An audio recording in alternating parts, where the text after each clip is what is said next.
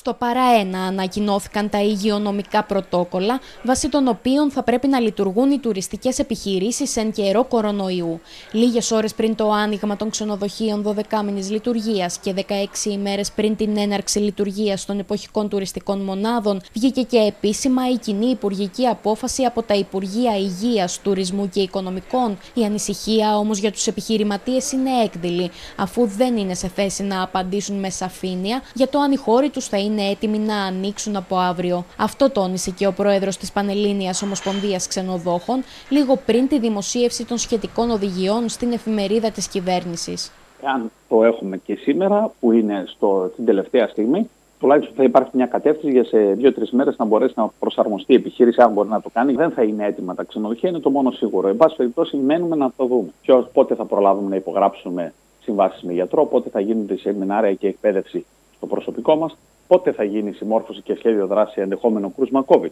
Λίγο πριν την ανακοίνωση των υγειονομικών πρωτοκόλων, τα οποία πρέπει να τηρούν και τα καταλήμματα της Κρήτης, τουριστικοί παράγοντες του νησιού δεν έκρυψαν τους προβληματισμούς τους για μια σειρά πρακτικών ζητημάτων που σχετίζονται με την εφαρμογή των μέτρων. Είναι σοβαρό πρόβλημα αυτή τη στιγμή πώς θα ανοίξουν τα ξενοδοχεία. Έχει δίκιο ο κύριος Στάσιος, ε, συμφωνώ μαζί του και εμείς ε, πήραμε σαν Ένωση το Υπουργείο Τουρισμού και ζητάμε και εμείς τα πρωτόκολλα οπωσδήποτε όσο πιο σύντομα γίνεται. Αυτή τη στιγμή έχουν διαρρεύσει πρωτόκολλα αλλά δεν είναι τα επίσημα του κράτους. Ενώ δεν έχουν ανακοινωθεί ακόμα επισήμως σε ΚΑΔ, τα γνωρίζουμε, προετοιμαζόμαστε. Άρα λοιπόν είναι τυπικό το θέμα οι σκέψεις και τα ερωτήματα για το πώς θα ανοίξουν τα ξενοδοχεία παραμένουν. Οι επιχειρηματίες τονίζουν τη δύσκολη πραγματικότητα στην οποία καλούνται να δουλέψουν φέτος, ενώ θέτουν στο προσκήνιο και τις αγωνίες τους για το οικονομικό σκέλος. Δεν υπάρχει άλλος χρόνος. Θα πρέπει να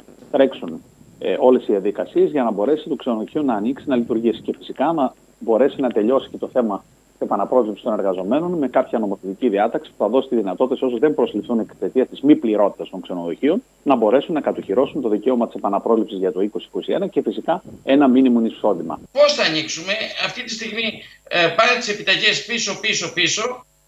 Στο τέλος μιας στιγμής θα, θα βουλιάξουμε.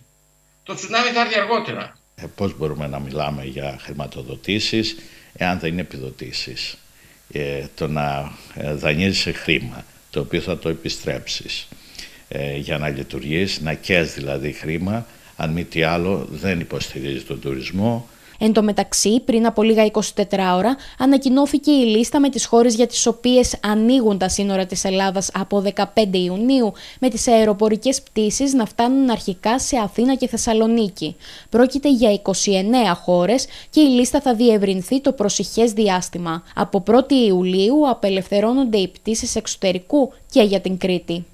Το αεροδρόμιο ακόμα δεν ξέρουν πότε θα ανοίξει του Ηρακλείου. Λένε μία εβδόμου, έχουμε ζητήσει ε, πιο μπροστά άνοιγμα ε, και πώς θα ανοίξουμε τα ξενοδοχεία μας και εμείς τα εποχιακά χωρίς κόσμο; Την ίδια ώρα, ποικίλες αντιδράσεις προκάλεσε δήλωση του Γενικού Γραμματέα Τουριστικής Πολιτικής και Ανάπτυξης σχετικά με τις διακοπές σε ξενοδοχεία. Δεν υπάρχει ε, αυτός ο το κίνδυνος να είμαστε ένα ξενοδοχείο να περιμένουμε ουρά στο μπουφέ και να κινδυνεύουμε. Ο κύριος Λούλης αυτά που λέει να τα κρατάει για τον εαυτό του αυτά που λέει είναι, κάνουν κακό στον τουρισμό και κακό σε όλους μας.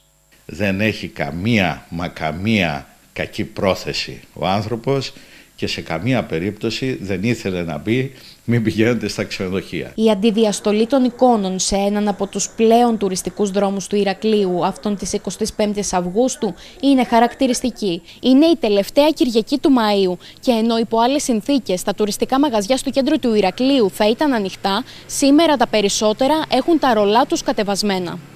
Ο κύριος Κώστας Μπουρμπάκης είναι ένας από τους ελάχιστους επιχειρηματίες που άνοιξαν τα μαγαζιά τους σήμερα και περιγράφει στην Κρήτη TV τη δύσκολη καθημερινότητα εν αναμονή των τουριστών. Δεν υπάρχει σκοπός να ανοίγουν.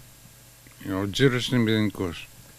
Αυτό που τονίζουν πάντως οι τουριστικοί παράγοντες της Κρήτης είναι ότι ο τουρισμός για το νησί θα μπει ουσιαστικά σε τροχιά επανεκκίνησης από τον Ιούλιο.